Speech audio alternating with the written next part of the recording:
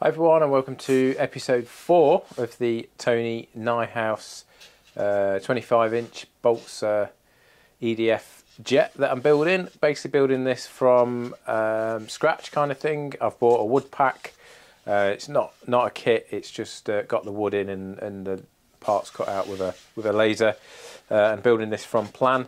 And um, last episode we got the fuselage construction uh, sorted. Uh, today's episode is basically going to be all about getting this fuselage finished and shaped up, um, including this is going to be the nose, the the nose of the uh, the Gnat that's going to go on here. So I got a lot of shaping and carving, but I'm really looking forward to this because I think it's really going to uh, start coming together and start looking um, like a a plane rather than a, a, boat, which it looks a bit like now. Um, so if you're into all things uh, fixed wing, EDF, Balsa, Nitro, a um, little bit of FPV and flying wings as well, uh, then you're going to want to subscribe to my channel. So if this is the first time you come across the channel, please hit the subscribe button. It doesn't cost you anything. And if you enjoy the video and you want to support my channel, then uh, please uh, hit the like button as well because that really helps me out on YouTube.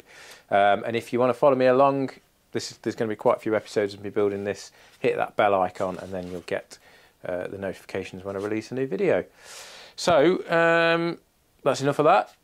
Let's get stuck in. Right then guys, well as I said on the intro there, um, this video's about getting the top and bottom sheeting on, nose block and shaping. So they're the three main things that we need to get done uh, on this particular episode. Um, and to sheet the top and bottom we're using this 5mm sheet uh, which basically just goes over the top like that and bends bends over um, unusual because normally uh, when you well from my past experience anyway which again is a long time ago but usually you sheet the top and bottom of the fuselage with cross grain like this which adds quite a lot of strength. Um, but uh, I've checked the build photograph log and I've zoomed in on it and double checked it and it definitely is lengthways like this. So that's how I'm going to do it as well. Um, it does make it a lot quicker obviously just putting one sheet on like that. So I've already trimmed this down for the top side here. And then for the nose block what I've got to do is just show you on the plan.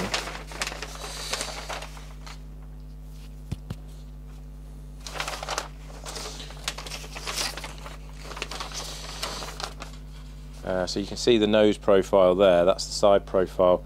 I've actually got to I'm going to trace that onto um, a bit of paper uh, and then um, cut, put that onto a piece of uh, balsa so I can, uh, and then you build it up, you sort of laminate it together. That's the top view of it there, you can see. And what they've used is some of the scrap from the wings, which is 6.5 mil balsa sheet um, so this is only a small piece of scrap here, but I have got um, a larger bit, oh, quite a lot actually, in the in the box. But you can see even that piece there is going to be ideal for the. That's going to that's going to work there for that piece. So I think what I'll do is use this piece here as my uh, starter, and uh, as I say, trace around that, cut it out on a piece of paper, then stick that on here, and I can get that cut out, and that will be that will make the middle of my um, of my balsa block and then I'll build the, the other bits on the the right hand side and the left hand side just to build it out. Uh, and then I can cut down to that profile basically or sand down to that profile. So that's what we need to do for the nose block. Um, uh, but for now what I'm going to do is I'm going to get this top sheet glued on uh, and I'm actually going to use some wood glue for this. I'm not going to use CA because CA, this has got a bend a fair bit, uh, and CA is quite, well, it's very brittle. So I think it might be better to use um, a bit of this. Uh, so I'm going to use that, and then I'm going to get the top sheet on first, and then I'm going to just get some masking tape because um, I don't think pins are going to hold it, to be honest, because it's it's quite a curve. And although this is quite nice soft balsa, obviously it's what they've supplied in the kit um, it will sort of just spring up and I've got a feeling that I'll probably get get back after I've left it overnight and it will have sprung up from the pins so fairly straightforward job hopefully um, that course is just running some wood glue along here and along there and then we'll get this laid on like that and taped up. So we'll get stuck into that now.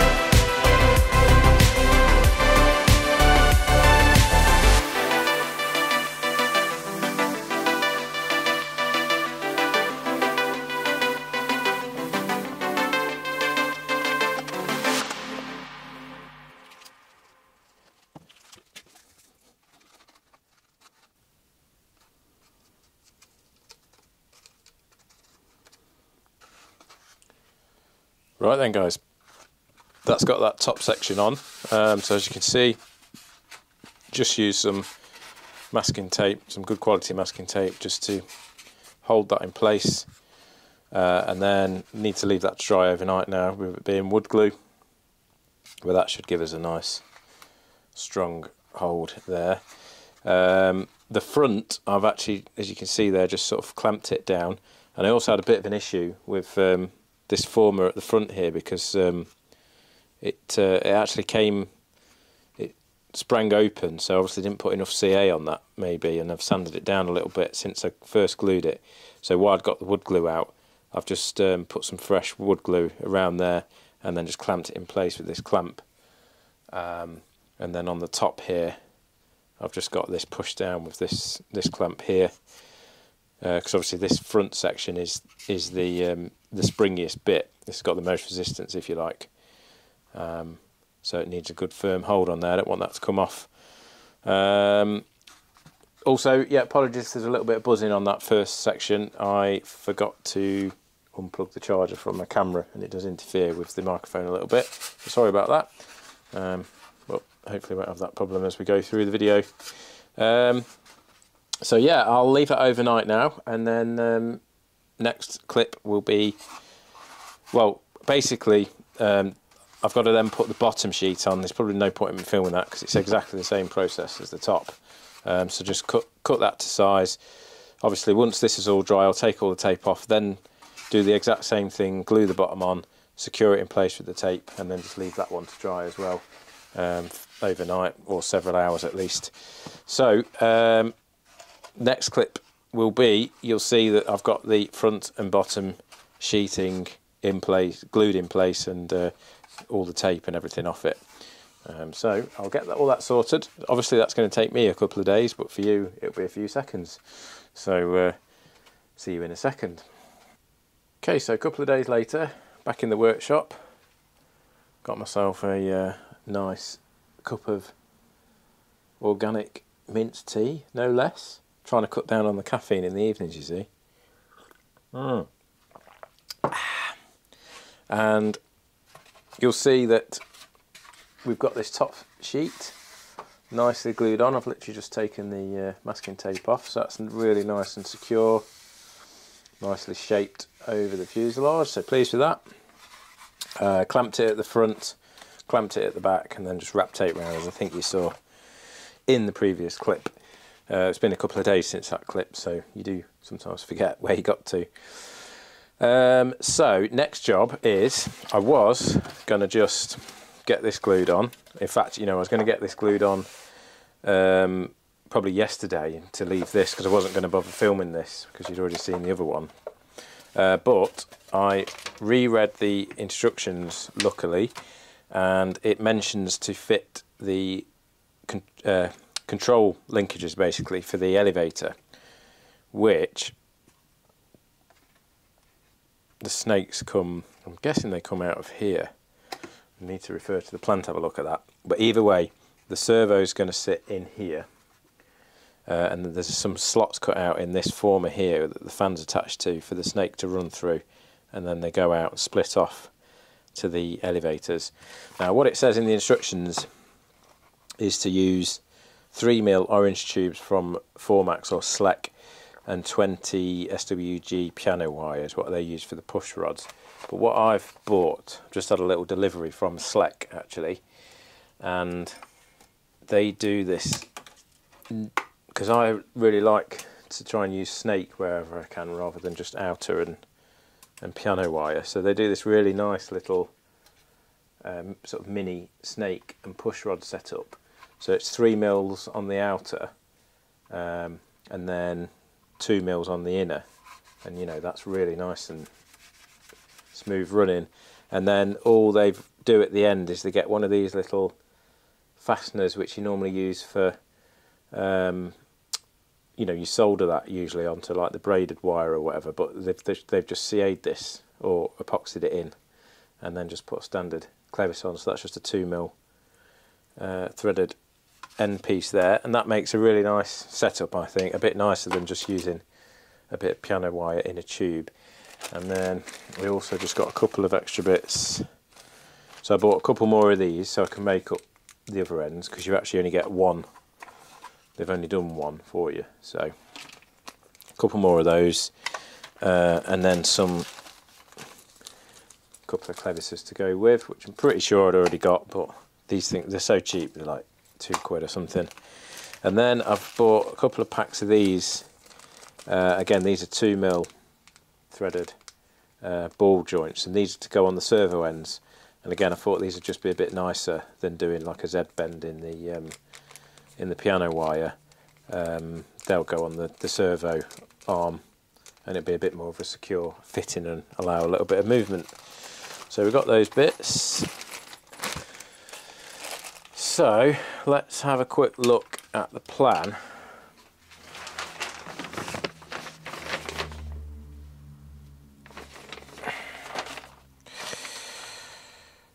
And see if we can see where it says here we go. So it basically just says they come out here um,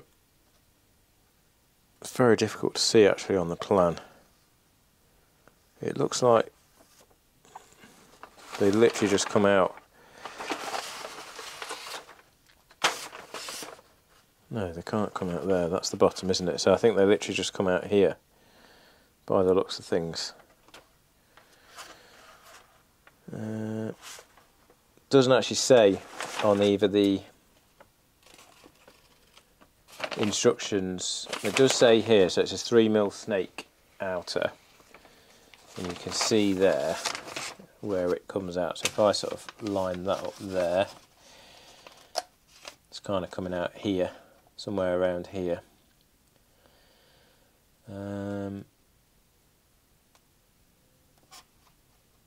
probably could come out a little bit further on because as long as it comes out before the you get to the end of the tailplane, that's going to be okay. So I reckon about here. So what I might do is just drill a 3 mil hole one there one there just to feed the snake through. So it will just go over the top of the thrust tube and just stick out there and there like that. So yeah I'll just get that measured up and get that drilled. I think I'll just use my little pin vise. Don't really need to bother with an electric drill. Um, so let me just double check that against the plan again and just mark it up. So tail planes, so I, I reckon if we bring the snakes out about here, that should be absolutely fine. So it's more or less where those two notches are in the triangle. And then if we just measure down, that's about pretty much 10 mils there. So if I measure 5 mils there, and then 5 mils there, that's where we want our holes for the snake to come out. Right, so that's that one drilled. It's a nice tight fit actually. Leave myself plenty of room. That should be more than enough. Again, let me just double check on the plan.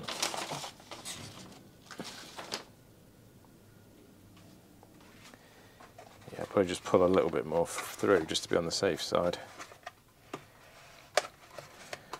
But that should be plenty. Well, the servos probably sit about here, so that's fine. And if we just snip that off, probably that's more than enough. Let's just see.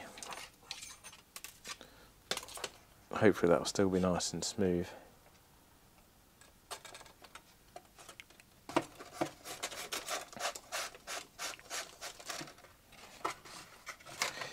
So if that's going to go in there like that, that's kind of going to go around there. That, let's say.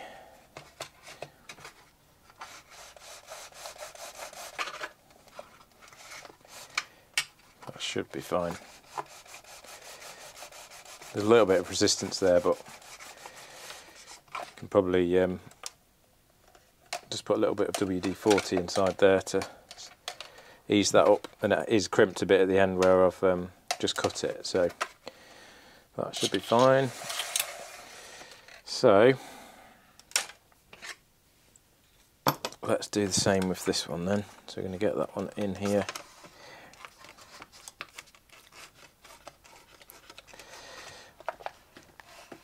that one's going to go like that basically So now we've got those installed, we can. Uh, I've just uh, glued those into place. Um, might need to just try and file that out a little bit actually. Oh no, it'll just it just clips in quite nicely there actually. Yeah, that's lovely. It does say that these are three mil, so that's uh, that's spot on there. Um, so I'll just put a little bit of CA just to, to lock those in, uh, and let's just trim this as well a little bit. But now I've done that, I can get this top bit plated. Um, and then once we've done that, we'll move on to sorting out the nose cone. And basically, in order to do the nose, we've got a couple of profiles. So we've got a top-down profile like that, and as you can see, it's made of sandwiched pieces together of 6.5 mil balsa. And I've had a few comments, by the way, on one of my um, the uh, wing video of this, people saying there's no such thing as 6.5 mil balsa. well, that's what it says on this plan, and also that's what Slec sell it as. But I think most people know it as six mil, and it is same as quarter inch Balsa as well. So we've got a top-down view like that, and then we've got a side profile like that. So I think what I'm going to do is um, I'm going to trace around this side profile and then cut that out on a piece of paper, and then I'm going to stick that to the side of a piece of the uh, quarter inch Balsa. Uh, cut it roughly to size um, and then just layer that up next to each other and then obviously once we've once I've got it layered up and I've got the right thickness I can then lay this profile on the top so trace that as well and lay that on the top just to help me shape it basically so yeah first job's going to be to uh, to get this traced out uh, and so I can stick it on the side of some balsa so um, I'll get that traced uh, and then I'll get dig the balsa out that I need and uh, we'll go from there. Okay, so this is what I've got. Um, so I've traced around some paper and stuck that on there. So this is kind of my main one, if you like, that I'm shaping everything to. Uh, and then I've just cut these pretty roughly out of the scrap quarter inch Balsa. Um, and then what I'm going to do is square them all up at the back like that uh, and then glue these together. I'm going to use some PVA wood glue again because it's a bit easier to sand than uh, just pouring CA into all that lot. I don't think it'd be uh, the, the, best thing to do. So I'm going to get that glued up and then clamp it down with my clamp. Might cut, yeah, I've only got the one clamp actually. Uh, but yeah, I'll clamp it all down anyway, maybe tape it up.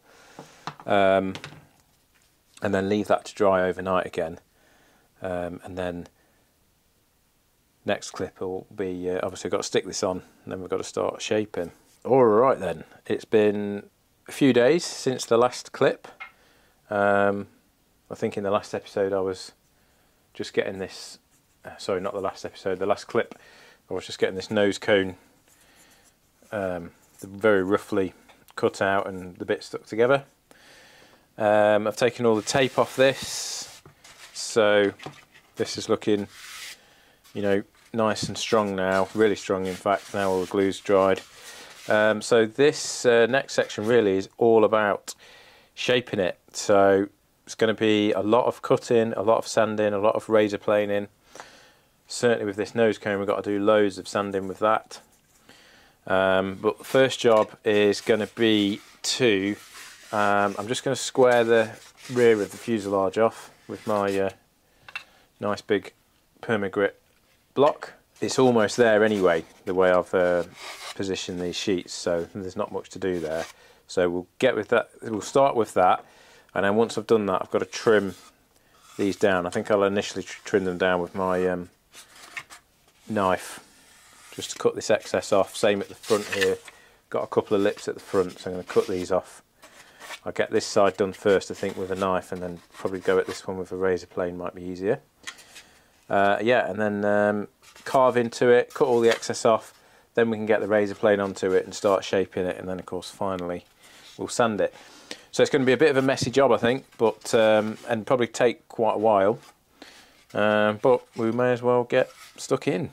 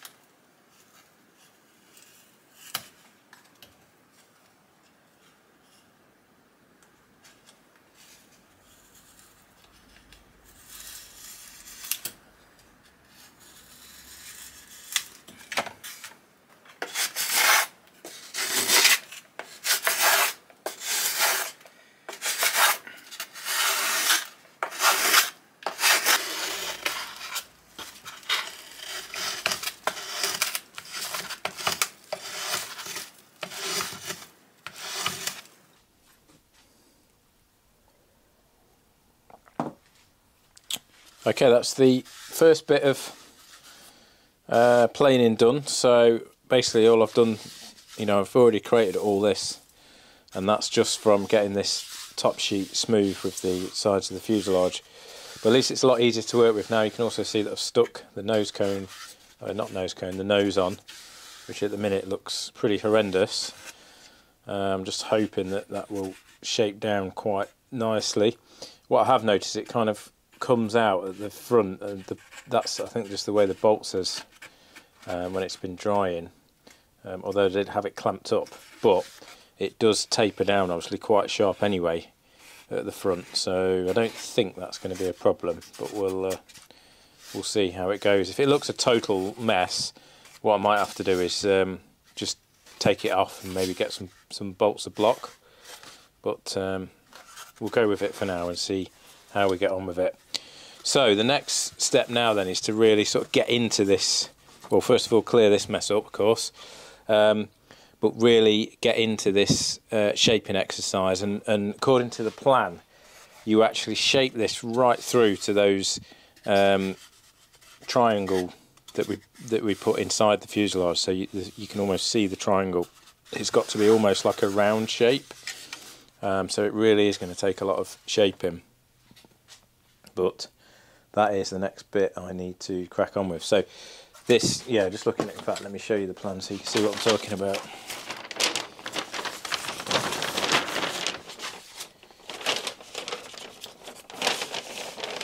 So here you can see this is the profile from the front. You can see here that they've literally shaped it right through to the triangle section. In fact, they've taken a fair bit of the triangle section off as well. Um, so it really is going to be uh, quite a thing to to get it shaped like that. But uh, we'll give it a good go. The other thing I need to do as well is just cut this, um, trace that and cut that out and stick that on top of here and draw around it um, so I can get the profile of the nose correct. So I will get all those bits done and then I will come back to you. Hopefully when I come back you'll see that it's a bit more um, of a nicer shape. Well, there we are. I've got to say, I was a little bit nervous about doing that.